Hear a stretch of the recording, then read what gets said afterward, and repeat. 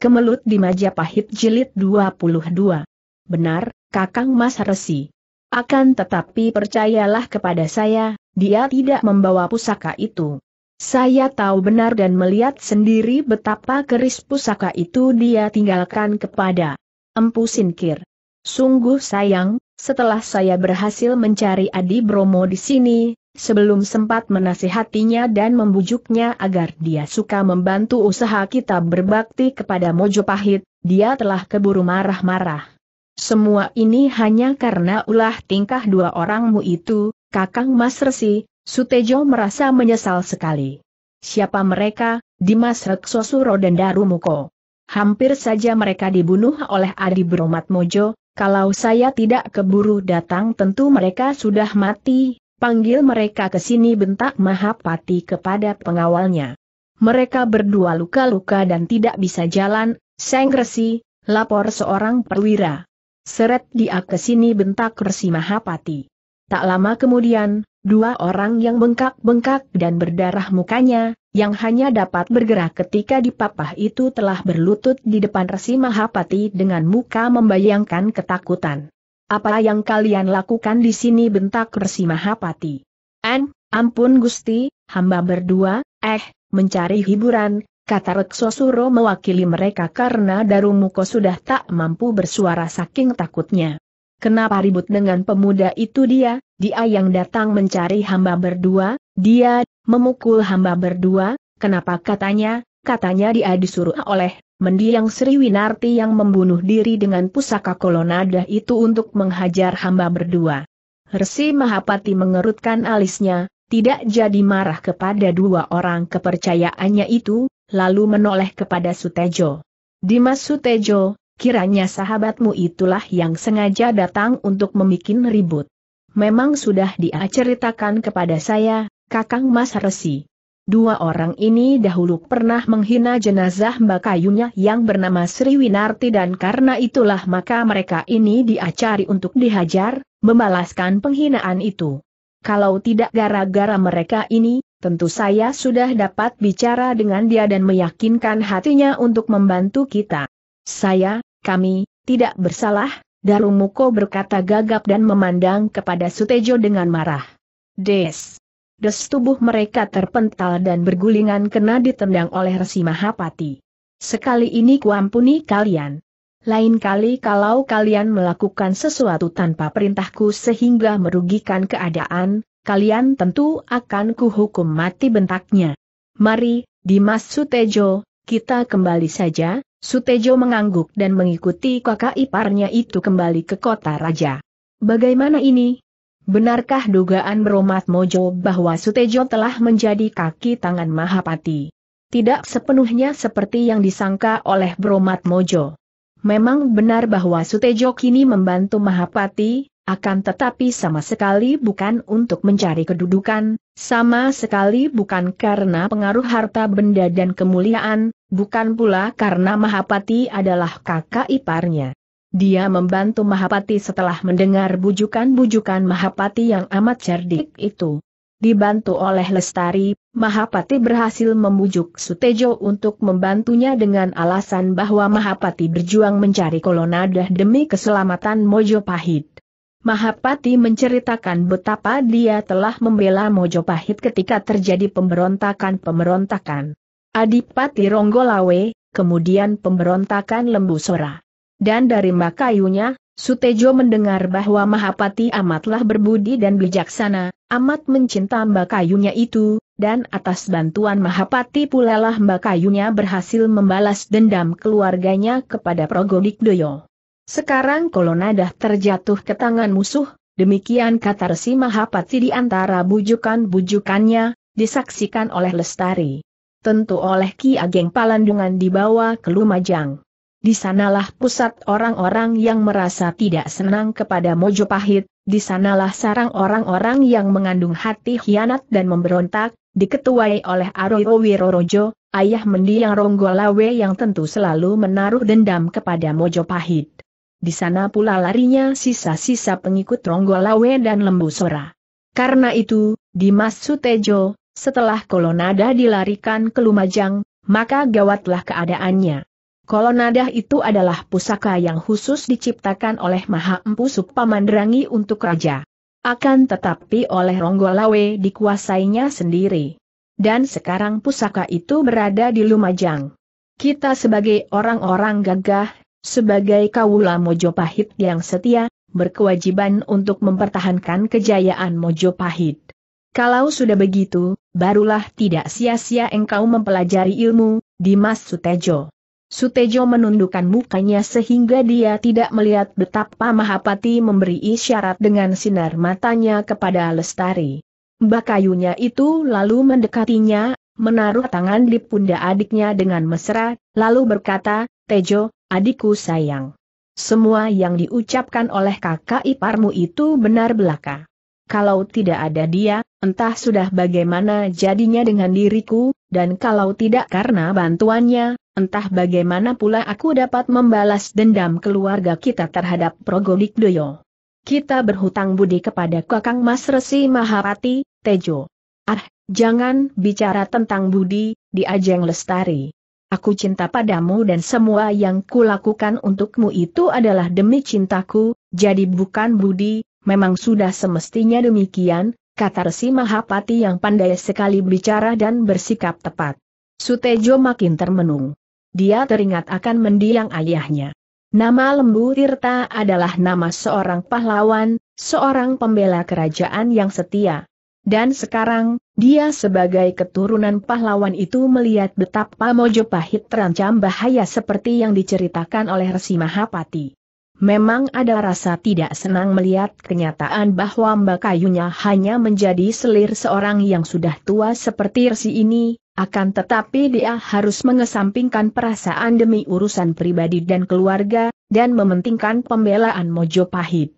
Aku mendengar dari Kakang Resi Harimurti bahwa sahabatmu itu, pemuda tampan itu, juga memiliki kesaktian hebat, bahkan kabarnya dia adalah murid Empu Sukpamandrangi sendiri, pencipta pusaka kolonada. Alangkah baiknya kalau kau dapat menarik dia agar bersama dengan kita berbakti kepada Mojopahit, Adimas Sutejo. Sutejo yang berwatak polos dan wajar itu, yang masih belum banyak mengenal manusia sehingga dia tidak tahu bahwa di dunia ini jauh lebih banyak terdapat manusia yang curang, palsu dan jahat daripada yang jujur, wajar dan baik, mudah saja terkena bujukan Resi Mahapati dan Lestari. Mengapa pula Lestari ikut membujuk adiknya? Sudah tentu saja. Wanita ini tidak ingin melihat adiknya bermusuhan dengan suaminya, dia ingin agar adiknya itu selalu berada di dekatnya dan tidak akan berpisah lagi.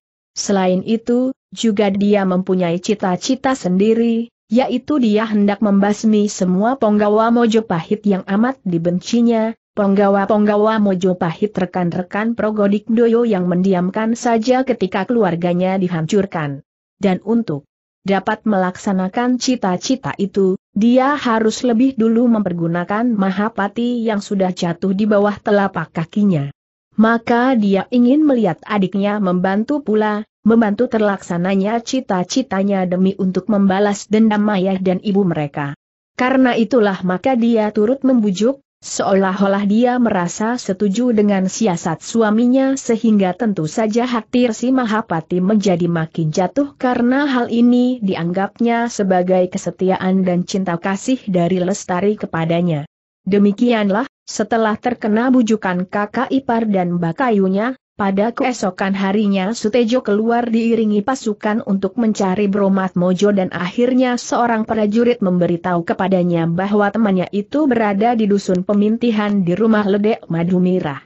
Bersama pasukan itu pergilah Sutejo menyusul ke sana sehingga terjadi perkelahian hebat antara dia dan Bromat Mojo.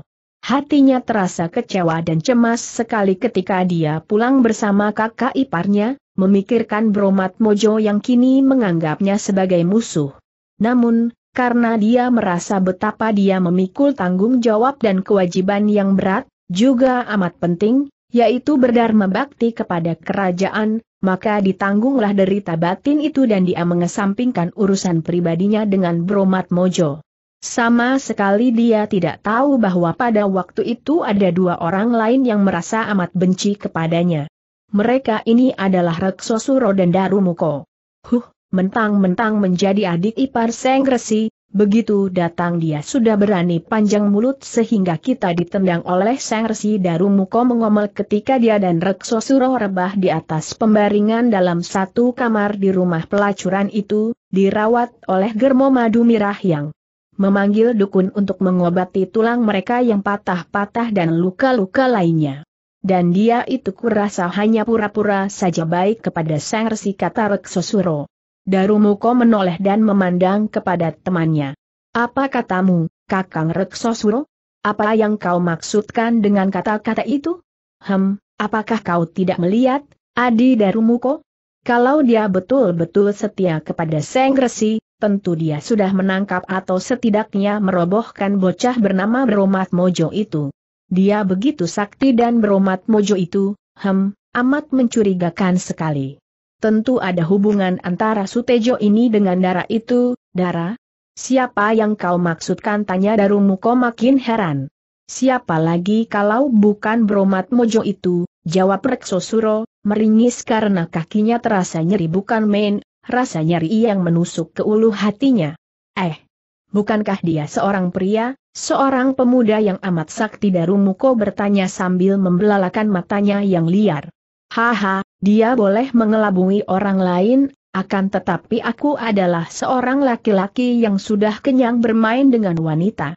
Sejak berusia belasan tahun aku sudah banyak bergaul dengan wanita, sampai sekarang entah sudah berapa ribu orang wanita yang kugauli.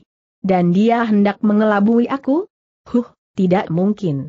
Kulit mukanya begitu halus, matanya begitu bening, alis matanya kecil panjang, bulu matanya lentik, hidungnya kecil, bibirnya merah basah dan mungil, giginya pun kecil-kecil, lehernya jenjang tanpa kala menjing, rambutnya begitu panjang halus sekali, hem, ketika kita melawan dia, apakah tidak tercium olehmu, Adi Darumuko? Tercium apanya ah, percuma saja engkau selama ini menjadi serigala penerkam wanita. Kiranya masih hijau. Tentu saja bau badannya, bau keringatnya eh, apa bedanya tentu saja beda. Wanita memiliki ciri bau yang khas, seperti juga pria, dan aku sudah hafal akan bau badan wanita. Darumuko terbelalak memandang kepada temannya dengan kagum. Tak disangkanya temannya itu mempunyai pengetahuan begitu mendalam tentang wanita. Eh, Kakang Reksosuro, katakan kepadaku, bagaimanakah baunya bau wanita mengandung bau seperti air susu, seperti bau bayi dan kembang, sedangkan bau pria mengandung bau seperti binatang jalang. Wah, kau pandai sekali, Kakang. Hem, siapa bilang aku bodoh? Bukan itu saja yang ku ketahui, akan tetapi untuk membuktikan kebenaran dugaanku, mari kita tanya kepada si Tanjung. Jung, Tanjung Ke sinilah sebentar dia berteriak keras dan tak lama kemudian terdengar suara menyahut dari luar, daun pintu kamar terbuka dan masuklah wanita muda berbaju merah yang tadi paling hebat merayu Bromat Mojo. Ada apakah, Kakang Mas Reksosuro tanya wanita itu, menekan perasaan tak senangnya kepada dua orang kasar itu. Anu, Nduk Cah Ayu, engkau tadi sudah berdekatan dan bersentuhan dengan pemuda bernama Bromat Mojo tadi.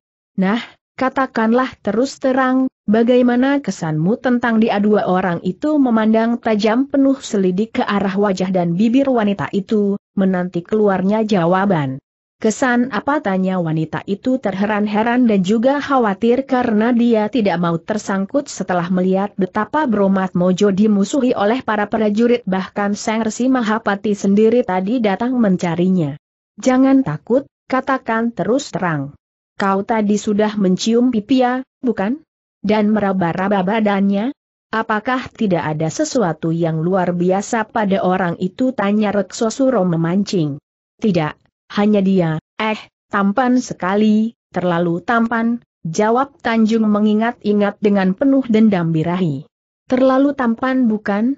Terlalu halus kulitnya, bukan? Herankah kau kalau kukatakan bahwa dia itu seorang perempuan desak Reksosuro? Perempuan? Ya, Dewa Batara. Perempuankah dia? Ah, Andika benar juga, Kakang Mas Reksosuro. Gerak-geriknya, Senyumnya, pandang matanya, ah, pantas dia tampan bukan main. Dia mestinya seorang gadis yang cantik jelita. Ayah, mengapa kami begitu bodoh? Akan tetapi, kalau perempuan, ah, dia begitu sakti. Hahaha, apa kataku, Adi Darumuko? Nah, pergilah, Tanjung, sudah cukup keteranganmu, hahaha Reksosuro tertawa-tawa girang sekali karena kini dugaannya dibenarkan dan diperkuat oleh Tanjung yang sebagai seorang wanita tentu akan mengenal kaumnya. Tanjung cepat pergi meninggalkan kamar itu dengan hati lega. Dia sudah khawatir kalau-kalau dua orang pria kasar itu akan minta dilayani, biar dalam keadaan seperti itu dan dia merasa jijik untuk melakukannya. Wah, engkau memang hebat, Kakang. Dan apalagi yang kau ketahui tentang darah yang menyamar sebagai laki-laki itu ada lagi, lebih hebat jawab Preksosuro sambil tersenyum bangga. Biarpun dia telah menghajar kita, akan tetapi kita rugi. Aku telah tahu rahasianya, dan biar Sutejo itu tahu rasa. Tentu dia kekasih darah itu, tak salah lagi, dan pertempuran antara mereka itu agaknya hanya pura-pura saja. Aku tahu siapa darah itu, eh, benarkah? Siapa dia? Kakang kita berdua sudah sering kali bertemu dengan dia, eh, aku tidak ingat lagi, siapa sih? Ingat baik-baik, Adi Darumuko. Pernahkah keris pusakaku Kiai Bandot tidak mempan menusuk tubuh orang? Hanya satu kali sebelum ini, ingat saja, kau. Ya, Aku ingat pengalaman pahit itu. Ketika mempergunakannya menyerang setan jembros. Benar, kau cerdik juga. Nah, bukankah orang tadi pun sama kebalnya dengan setan jembros? Tentu dia murid setan jembros. Dan kau ingat anak perempuan dulu itu yang ditolong setan jembros dan menjadi muridnya? Dia tadi datang untuk membalaskan dendam Sri Winarti, bukan? Lupakah kau akan bocah perempuan bernama Sulastri, adik Sri Winarti itu? Dan dia tadi menyebut Sri Winarti sebagai mbak kayunya. Makin lama makin berseri wajah Darumuko dan tiba-tiba dia menggebrak amben yang ditidurinya. Brak! Kau betul, aduh, dia menyeringi karena saking gembiranya dia sampai lupa dan hampir saja dia terloncat bangun sehingga gerakan itu membuat kaki dan tangannya yang patah tulang itu nyeri bukan main, kiut-miut rasanya menyusup ke tulang-tulang sumsum. Jelaslah. Dia itu Sulastri, anak perempuan yang dulu itu. Dan pernah pula Ki Ageng Palandungan menolongnya ketika kita menangkapnya.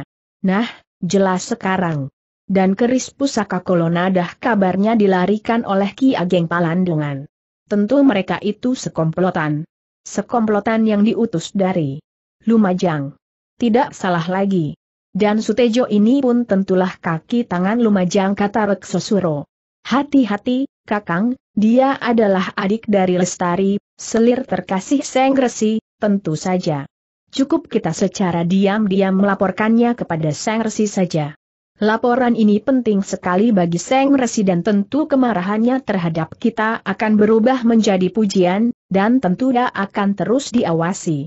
Rasakan engkau, Sutejo, engkau telah membuat celaka kami, dan kelak kami akan membalasnya, tunggu saja.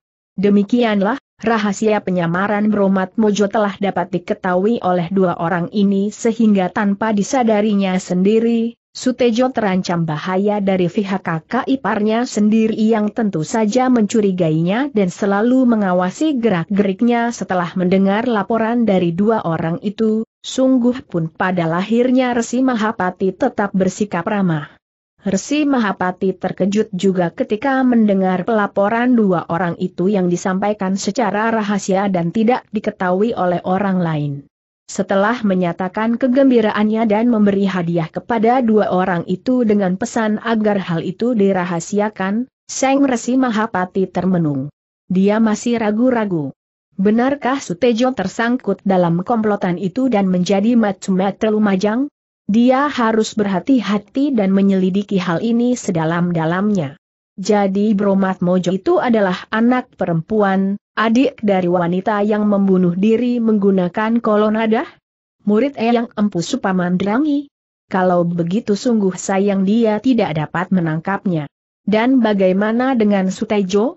Benarkah Sutejo tidak mampu menangkapnya ketika mereka bertempur? Ataukah Sutejo sengaja melepaskannya?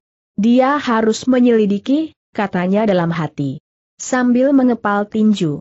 Dan dia tidak akan memberitahukan hal ini kepada Lestari. Sebaliknya, dia menarik Resi Harimurti dan membisikinya tentang rahasia itu.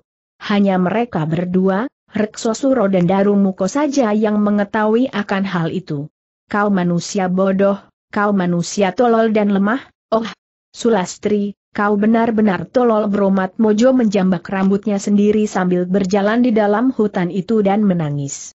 Dia masih marah, kecewa, berduka dan penasaran setelah tadi lari meninggalkan dusun pemintihan. Ketika dia mendapat kenyataan betapa perasaan hatinya merasa ternyuh, sunyi, berduka dan kecewa karena Sutejo kini memusuhinya dan jauh daripadanya, tangisnya menjadi-jadi dan dia memaki dirinya sendiri. Engkau cinta padanya, ah, gadis bodoh, engkau cinta padanya kini dia menghentikan langkahnya, bersandar pada batang pohon randu yang halus kulitnya itu sambil menangis. Terbayanglah semua keakraban antara dia dan Sutejo selama dalam perjalanan berdua itu, semua kebaikan-kebaikan Sutejo terhadap dirinya dan tangisnya makin mengguguk. Kakang Tejo, engkau kejam padaku, Kakang, ah, kenapa engkau kejam padaku? Setelah semua kesedihannya diluapkan melalui tangisan yang tidak ditahan-tahan, karena betapa seringnya dia menahan tangis selama bersama Sutejo, hatinya terasa agak ringan dan akhirnya dia duduk di atas batu di bawah pohon randu itu, termenung dan kadang-kadang masih terisak sebagai sisa tangis tadi.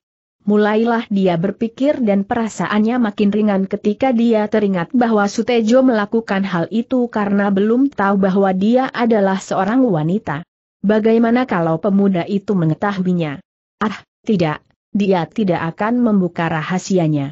Selain memalukan, juga akan makin menyakitkan hati saja kalau pemuda itu tetap tidak senang dan marah kepadanya. Kini Sutejo telah menjadi kaki tangan Mahapati. Kenyataan ini sungguh menyakitkan hatinya karena dia tahu sekarang bahwa dia telah jatuh cinta kepada pemuda itu. Tadinya, ketika mereka masih bersama-sama, dia hanya merasa suka sekali kepada pemuda itu, dan kini setelah mereka cocok dan berpisah, baru dia tahu dari penderitaan batinnya bahwa dia mencinta pemuda itu. Teringat semua olehnya betapa dia cemburu sekali kepada Roro Kartiko ketika mengira bahwa Sutejo mencinta putri itu. Kakang Tejo, aku cinta padamu, akan tetapi jalan hidup kita bersimpang dia mengeluh. Akan ke manakah dia sekarang setelah dia berpisah dari pemuda itu? Hidup seolah-olah menjadi begini sepi tanpa tujuan. Kemudian dia teringat tugas yang diberikan oleh gurunya kepadanya. Dia harus mencari kolonada. Bukankah gurunya mengutusnya untuk menyerahkan keris pusaka kolonada itu kepada Pangeran Kologemet, putra Seng Prabu yang menjadi Pangeran Pati atau Pangeran Mahkota? Dan sekarang kolonada dilarikan oleh Ki Ageng Palandungan. Akan tetapi sebelum mencari Kelumajang, dia akan mencari gurunya yang pertama lebih dulu. Ki Jemberos. Dalam keadaan sepi seperti itu, tiba-tiba saja dia teringat kepada Ki Jemberos.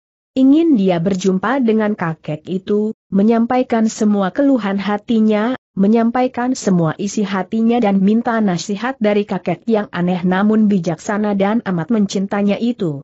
Ke Pegunungan Pandan. Dahulu, di sanalah dia meninggalkan gurunya itu yang katanya hendak beristirahat dan berobat bersama anak buah dua orang gagah yang menjadi pelarian Mojopahit, yaitu Raden Gajah Biru dan Juru Demung yang gagah perkasa. Benar, pikirnya. Seorang diri saja mencari kolonadah tentu akan sukar. Aku dapat minta bantuan Eyang Jemberos, paman-paman yang gagah perkasa itu.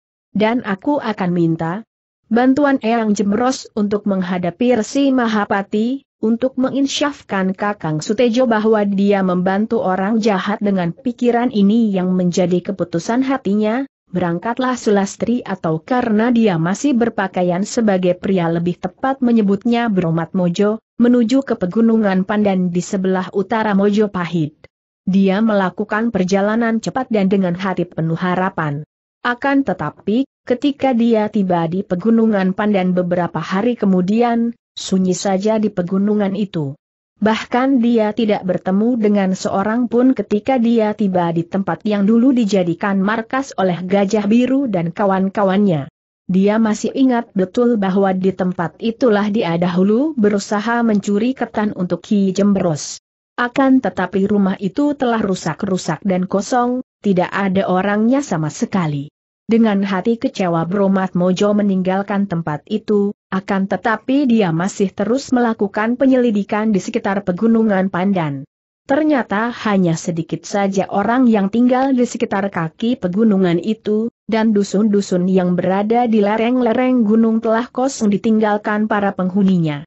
Dan sedikit kelompok orang yang tinggal di kaki gunung adalah pendatang-pendatang baru yang tidak mengenal nama Ki Jembros, gajah biru ataupun juru demung. Penghuni-penghuni lama sebagian besar ikut dalam pemberontakan dan tewas, sedangkan keluarganya yang tidak ikut telah melarikan diri takut kalau tersangkut. Di bagian mana pun di dunia ini, dalam zaman apa pun, perang merupakan peristiwa yang paling jahat dan busuk di antara manusia. Bukan hanya karena perang menjatuhkan korban manusia di kedua pihak, akan tetapi lebih dari itu. Juga, keluarga mereka yang tidak turut apa-apa akan terkena getahnya, ada yang ditangkap, dibunuh, difitnah dan dipermainkan.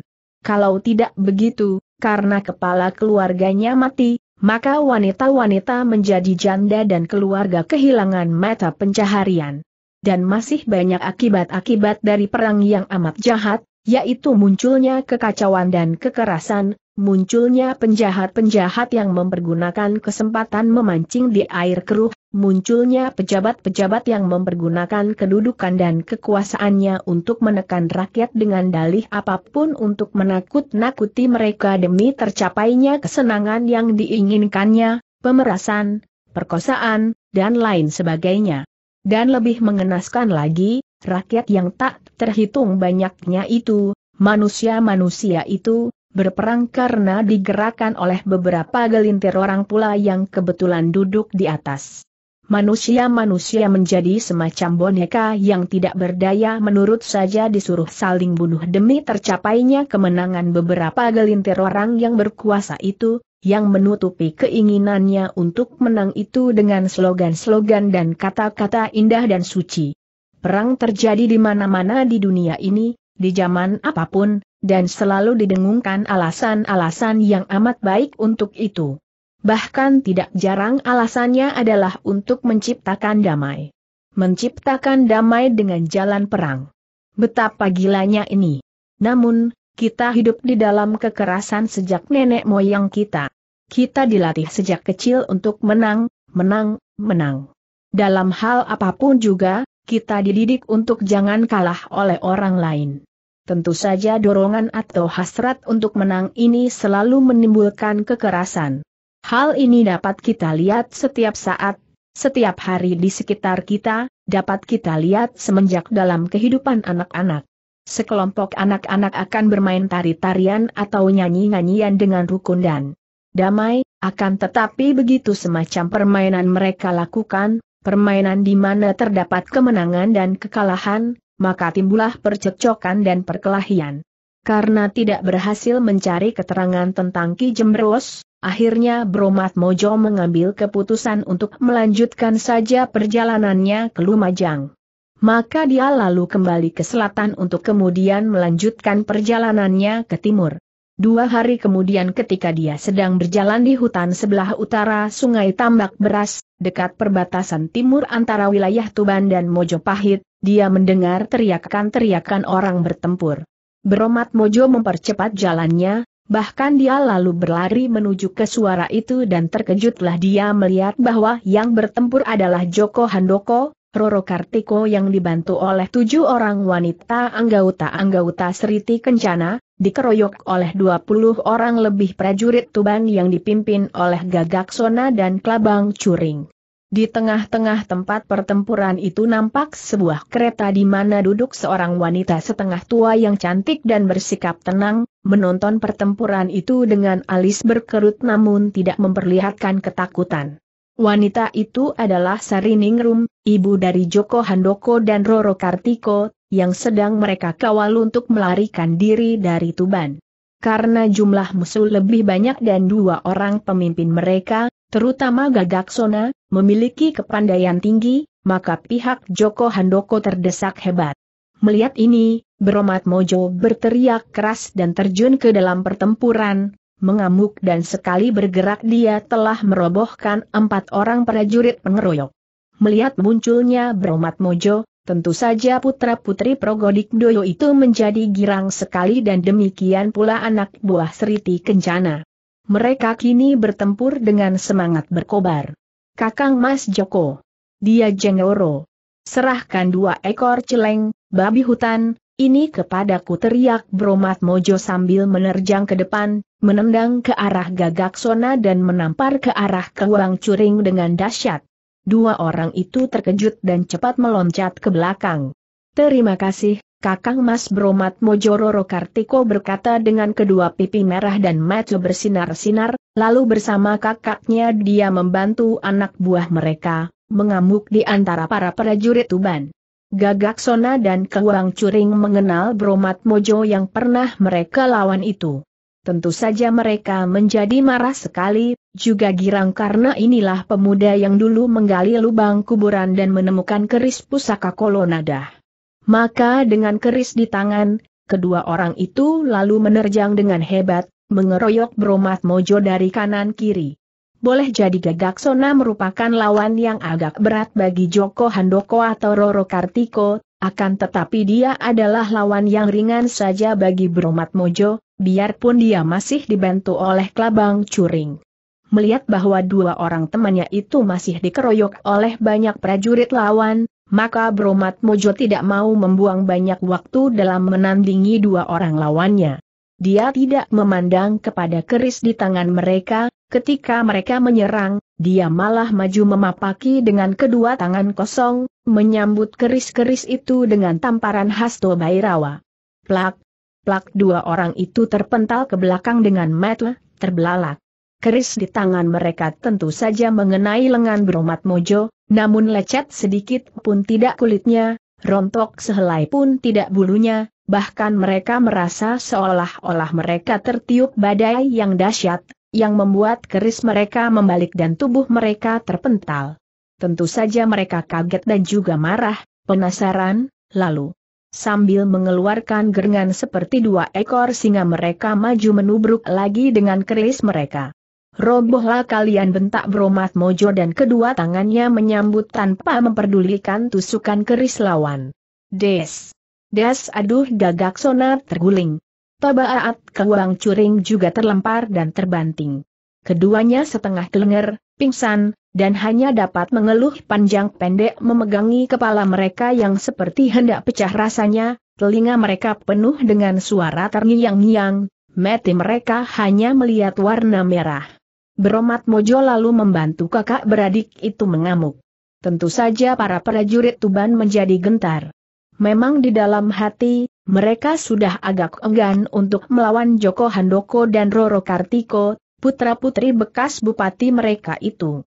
Mereka mengenal dua orang kakak beradik ini sebagai dua orang muda yang gemblengan dan juga amat baik. Hanya karena terpaksa saja mereka tadi menurut perintah Gagak Sona dan Kewang Curing melakukan pengeroyokan. Akan tetapi setelah kini mereka berdua itu roboh, dan mereka memang tidak kuat menghadapi amukan wanita-wanita cantik dan seorang pemuda seperti Joko Handoko, kini ditambah pula oleh pemuda tampan yang amat sakti itu, maka para prajurit itu lalu melarikan diri sambil memondong tubuh gagak sona dan kewang curing yang masih belum sadar betul. Mari cepat kita melarikan diri sebelum pasukan yang lebih besar datang lagi kata Joko Handoko yang mengkhawatirkan keselamatan ibunya. Maaf, Adimas Bromat Mojo, nanti saja kita bicara Bromat Mojo mengangguk, malah menghampiri kereta dan bertanya, siapakah bibi ini? Dia ibuku kata Roro Kartiko yang sejak tadi menatap wajah Bromat Mojo dengan penuh kagum. Kalau begitu, kita tinggalkan saja kereta. Biar ku pondong beliau agar perjalanan lebih cepat, kata Bromat Mojo dan tanpa menanti jawaban lagi, dia menyembah kepada wanita setengah tua itu lalu memondongnya dan lari dengan cepat. Joko Handoko dan adiknya saling pandang, Roro Kartiko tersenyum dan mereka lalu cepat mengejar, diikuti oleh tujuh orang anak buah mereka. Dan memang benar, melarikan diri memang lebih baik kalau berjalan kaki, mereka dapat lari nyusup-nyusup di antara semak belukar.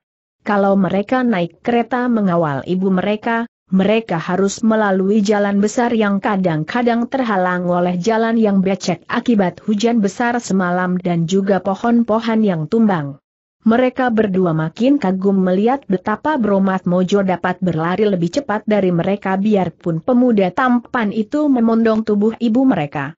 Kalau saja mereka tidak sering meneriakinya, tentu pemuda itu sudah jauh meninggalkan mereka dan mereka semua, termasuk para anggota Seriti Kencana, telah terengah-engah kehabisan napas ketika mereka berlari terus-menerus tanpa berhenti, akan tetapi Bromat Mojo masih enak-enak saja berlari. Hal itu adalah karena Bromat Mojo mempergunakan aji kesaktian Turonggo Bayu sehingga dia dapat berlari cepat tanpa banyak mempergunakan tenaga. Menjelang senja barulah mereka menghentikan perjalanan itu mereka beristirahat di bawah pohon-pohon besar yang rimbun. Ketika Beromat Mojo menurunkan tubuh Sariningrum ke atas rumput di bawah pohon itu, wanita ini memandangnya dengan kagum dan tersenyum sambil berkata, betapa kuatnya engkau. Setelah mereka mengaso, mereka mendapat kesempatan bercakap-cakap. Roro Kartiko menghampiri Beromat Mojo dan dengan suara menggetar saking terharu dia berkata, Kakang Mas Beromat Mojo. Tak terukur besarnya rasa syukur dan terima kasih kami kepadamu. Kalau tidak ada Andika yang datang menolong, entah bagaimana jadinya dengan kami. Benar, ucapan di Ajeng Roro, pertolonganmu besar sekali artinya bagi kami, Adimas Bromat Mojo. Entah bagaimana kami akan dapat membalas budi pertolonganmu itu, sambung Joko Handoko dengan pandang mata kagum dan penuh syukur.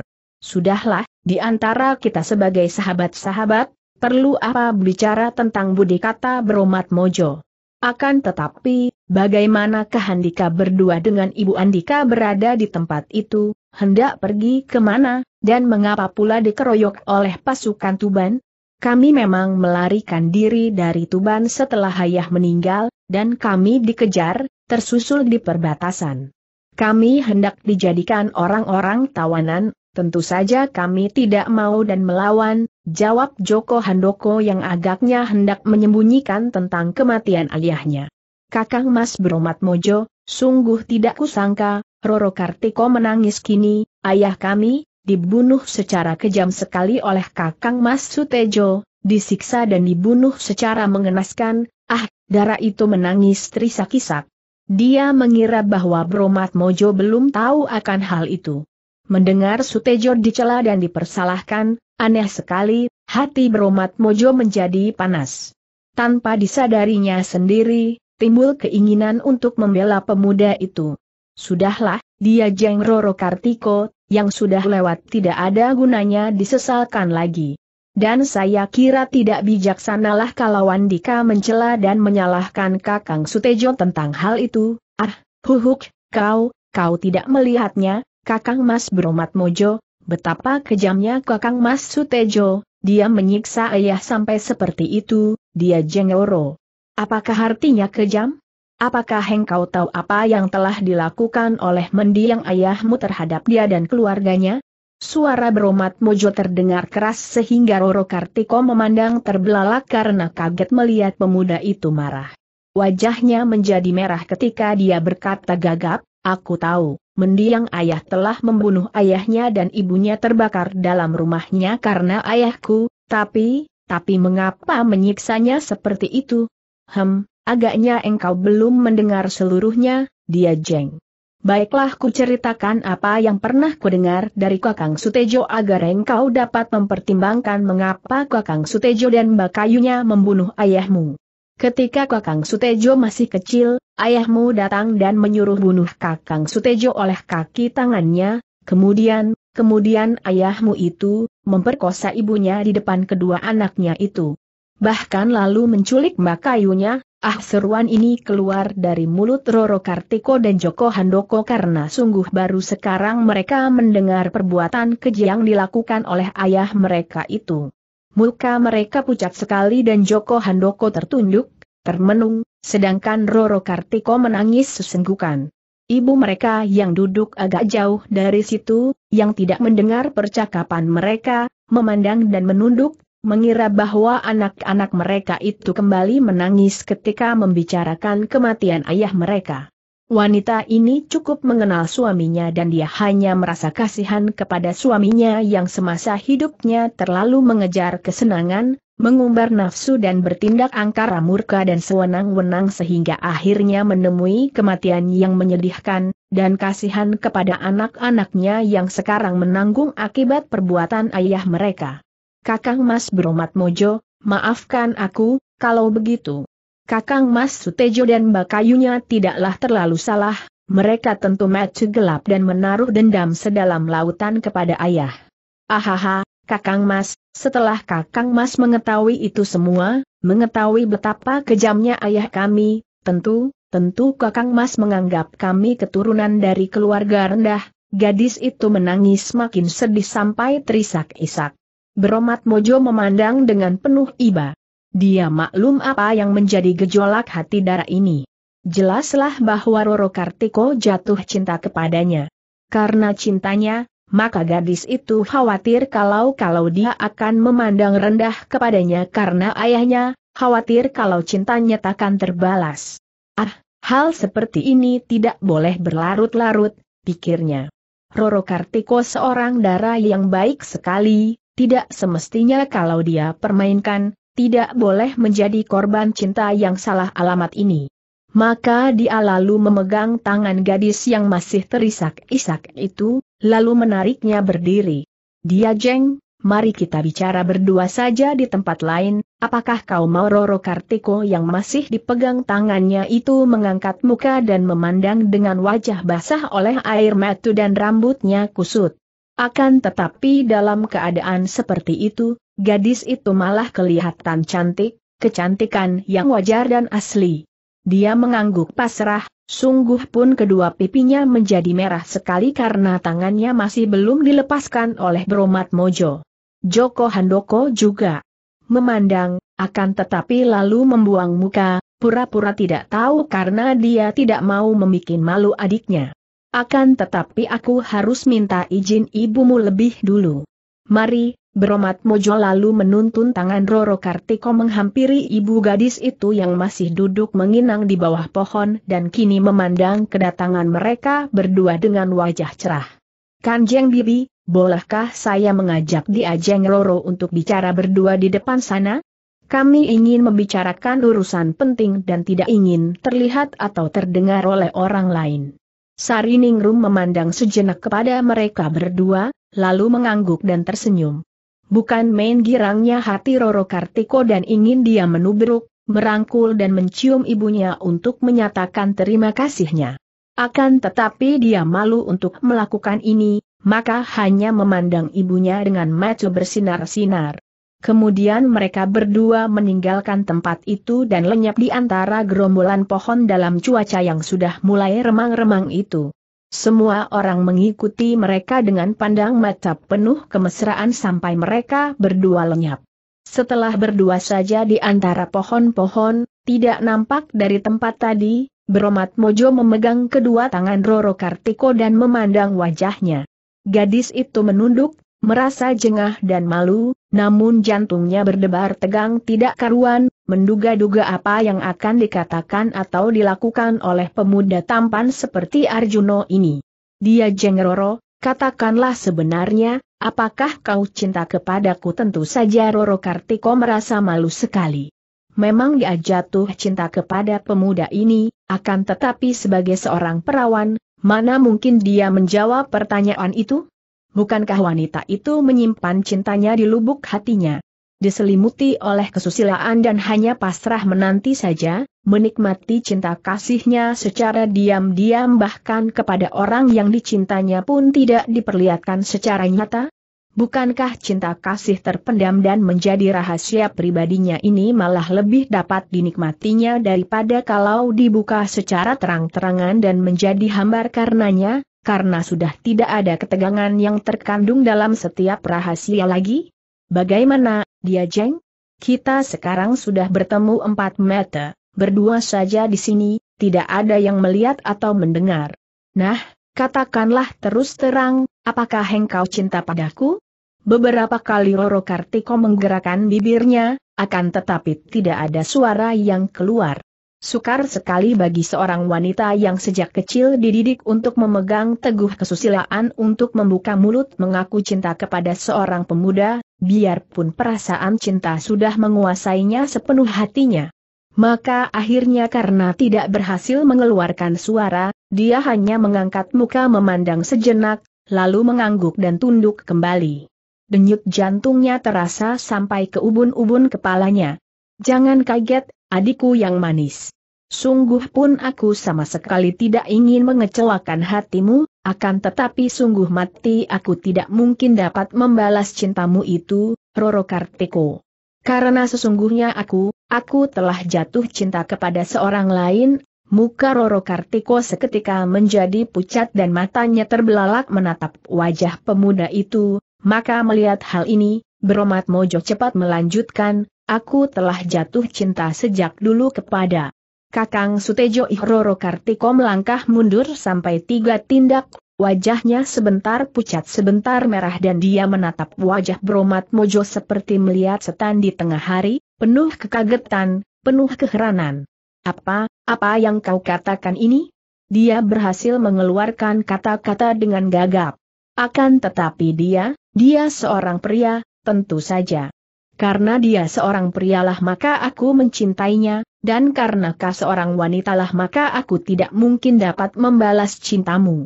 Roro Kartiko, mendekatlah dan lihat baik-baik, aku siapa Bromat Mojo telah menangkap tangan darah itu, menariknya dan mendekapnya. Roro Kartiko meronta, akan tetapi Bromat Mojo tetap memeluknya. Bocah ayu yang bodoh, apakah kau tidak tahu bahwa aku pun seorang wanita? Ihroro Kartiko meronta dengan keras dan berhasil melepaskan pelukan Bromat Mojo. Tangan kanannya menutupi bibirnya agar dia tidak menjerit, matanya terbelalak memandang Bromat Mojo dan bibirnya menggigil. Aku, aku tidak percaya.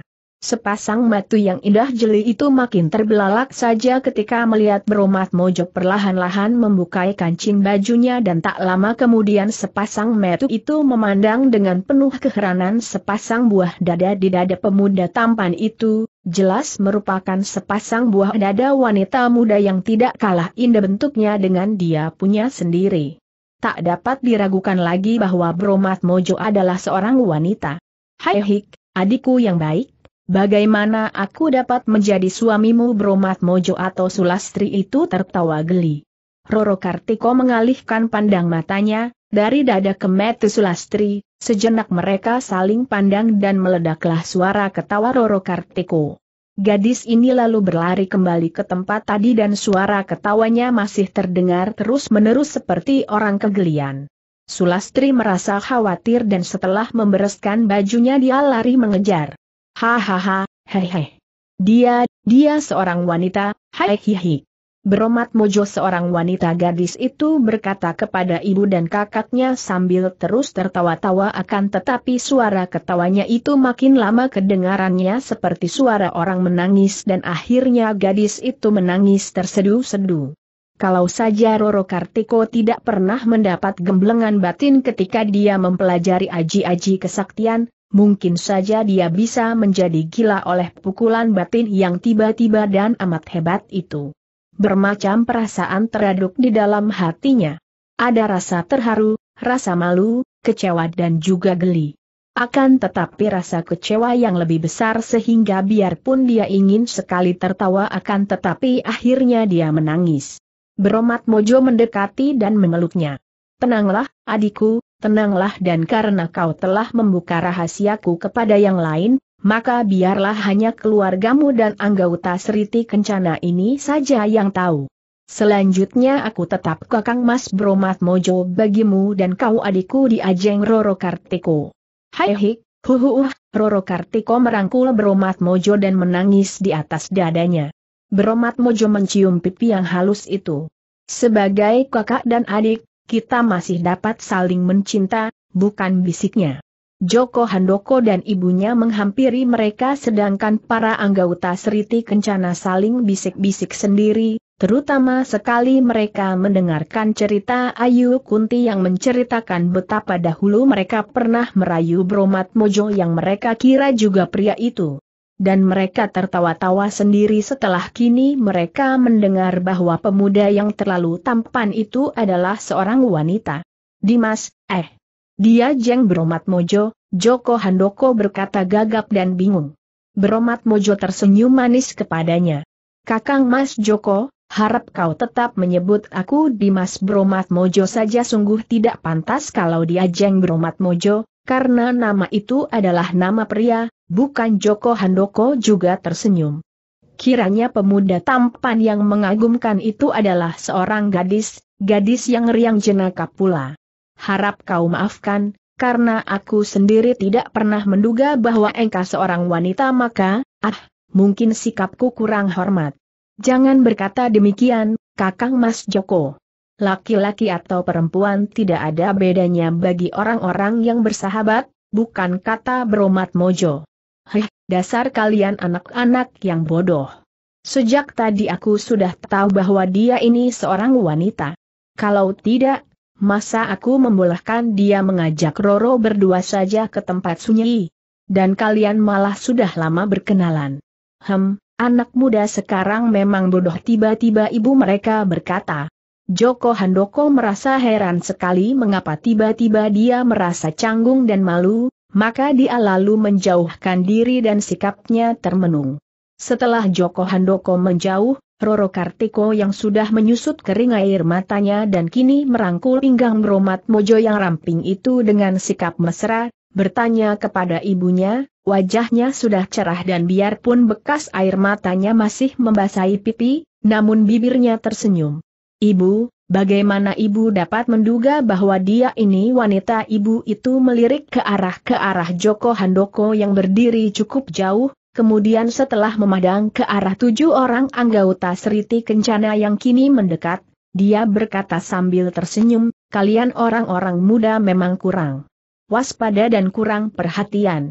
Lihat saja, Bukit Pinggul wanita adalah bulat lebar dan menonjol rata, sedangkan Bukit Pinggul pria meruncing seperti kukusan atau terpes. Hanya pria gemuk saja yang kadang-kadang mempunyai pinggul menyerupai pinggul wanita. Karena Nak Mas Bromat Mojo bukan seorang pria gemuk, maka pinggulnya yang indah penuh dan bulat itu menunjukkan bahwa dia adalah seorang wanita, seorang perawan. Tentu saja, dengan melihat pinggulnya saja aku sudah menduganya, apalagi ditambah oleh ketampanannya yang amat luar biasa itu, mudah saja bagiku, sama dengan dua ditambah dua menjadi empat. Semua orang tertawa dan Bromat Mojo lalu mengeluh, wah, kalau begini tidak ada gunanya lagi menyamar. Untungnya menyamar pria belum ada, dan ruginya sudah jelas sekali. Pertama, dia Jengroro Kartiko tergila-gila kepadaku dan banyak lagi wanita lain yang tertarik. Dia mengerling ke arah sekelompok wanita anggota Seriti Kencana dan Ayu Kunti menjadi merah mukanya, dan kedua, dia tidak melanjutkan, wajahnya berubah merah dan sinar matanya kelihatan lesu. Roro Kartiko berbisik, adi dia belum tahu Bromat Mojo menggeleng. Hanya mereka berdua saja yang mengerti apa artinya tanya jawab terakhir ini. Mbak Kayu, eh, Kakang Mas Bromat Mojo, aku ingin sekali melihat engkau kalau berpakaian wanita. Mari ku pinjami pakaianku, Roro Kartiko memaksa-maksa dan untuk menghibur hati gadis yang patah hati karena cinta yang salah alamat itu, Sulastri mau saja berganti pakaian wanita dan dibantu oleh Roro Kartiko dia menyanggul rambutnya. Setelah selesai, Roro Kartiko bertepuk tangan memuji. Bukan main.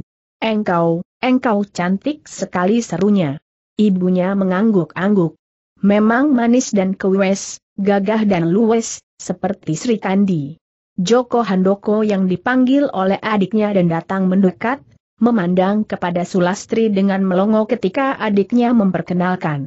Dia sendiri terkejut dan kagum melihat bahwa Bromat Mojo sesungguhnya adalah seorang gadis yang demikian cantik jelita dan manisnya.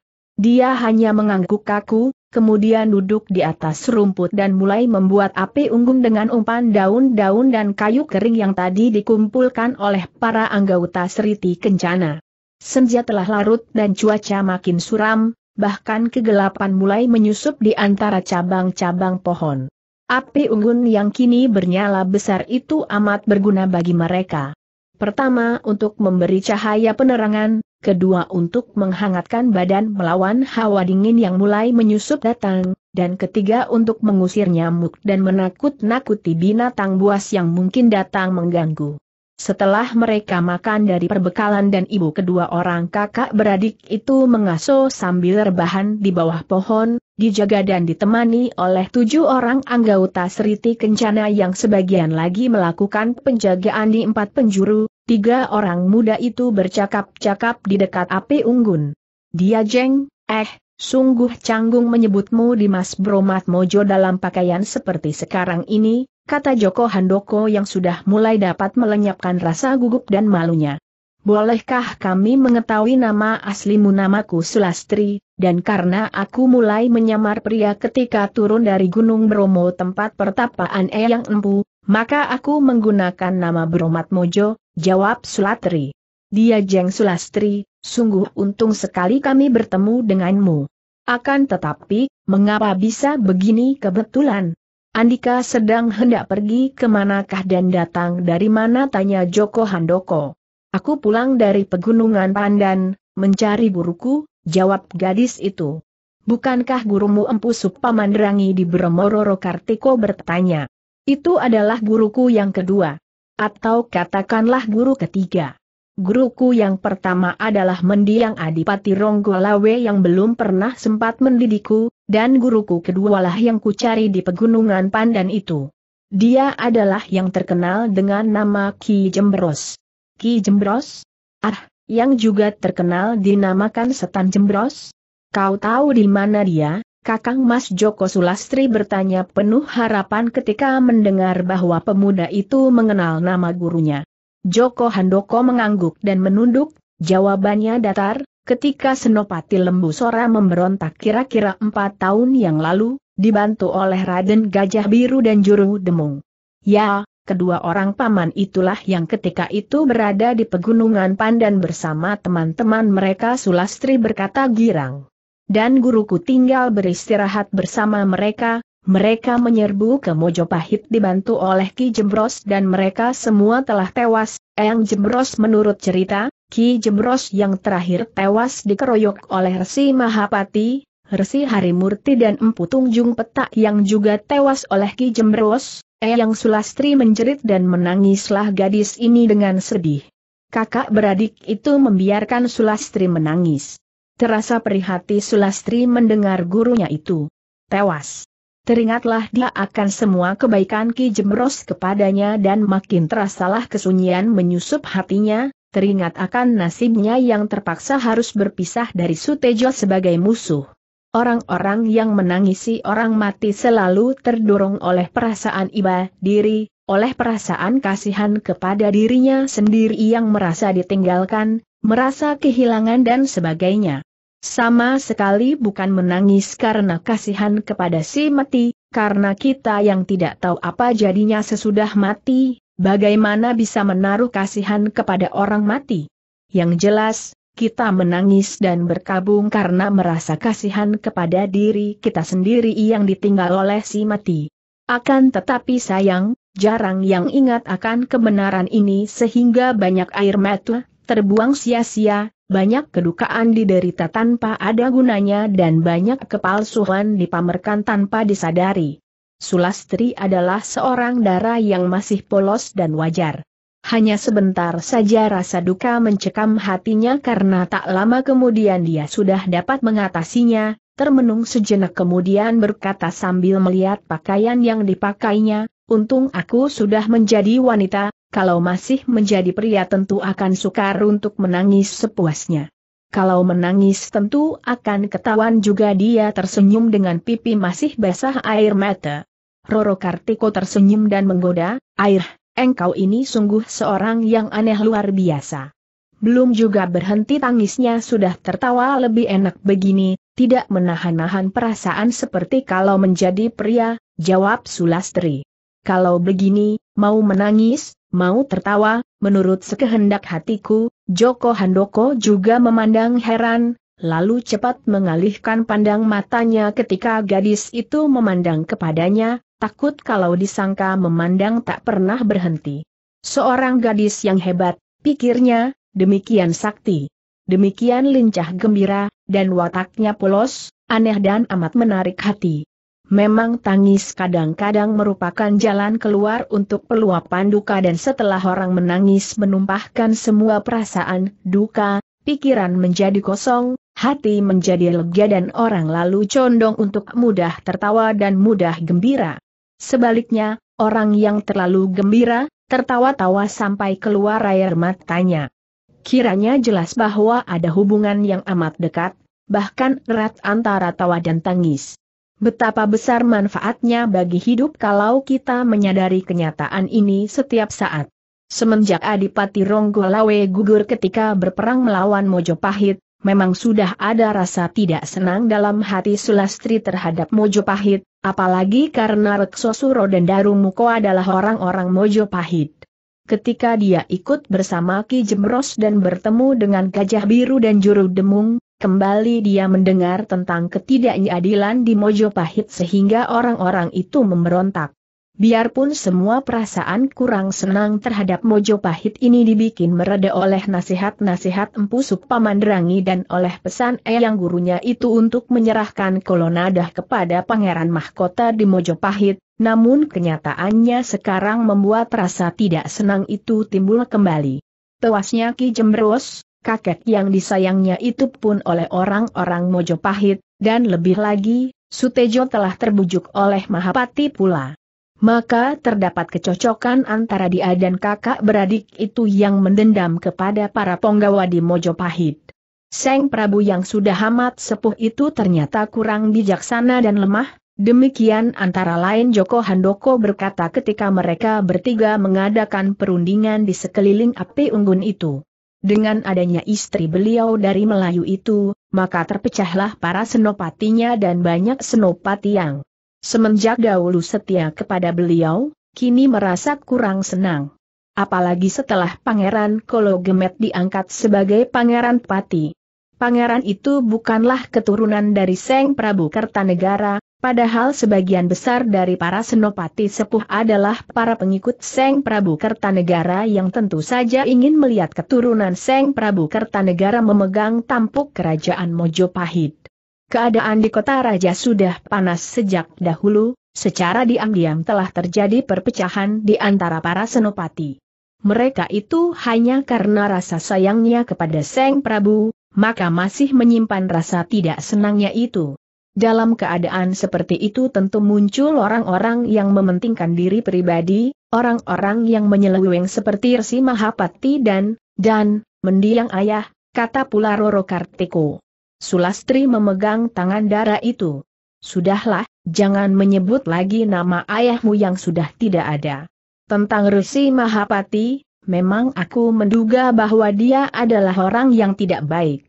Sayang sekali bahwa kakak dari Kakang Sutejo telah menjadi selirnya, bahkan sekarang Kakang Sutejo terbujuk dan membantunya.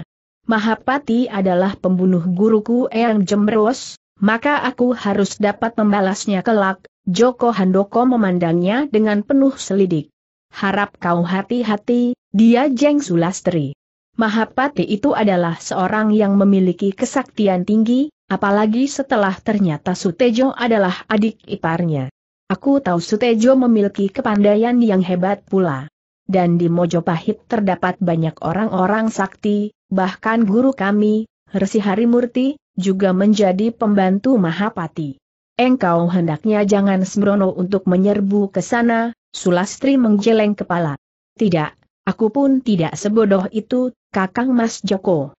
Aku akan menanti saat yang baik dan tepat, dan sekarang yang penting bagiku adalah mencari pusaka kolonadah yang hilang, menurut pendapatku, pusaka itu tentu telah dibawa oleh Ki Ageng Palandungan.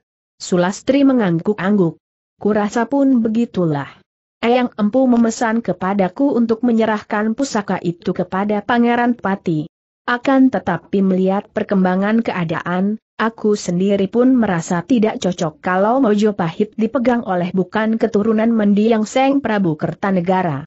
Aku berpihak kepada mendiang guruku Adipati Ronggolawe dan para pemberontak lain. Oleh karena itu, mengingat bahwa pusaka kolonadah tadinya adalah milik Adipati Ronggolawe, maka aku akan menyelidiki apakah benar kini terjatuh ke tangan Ki Ageng Palandungan.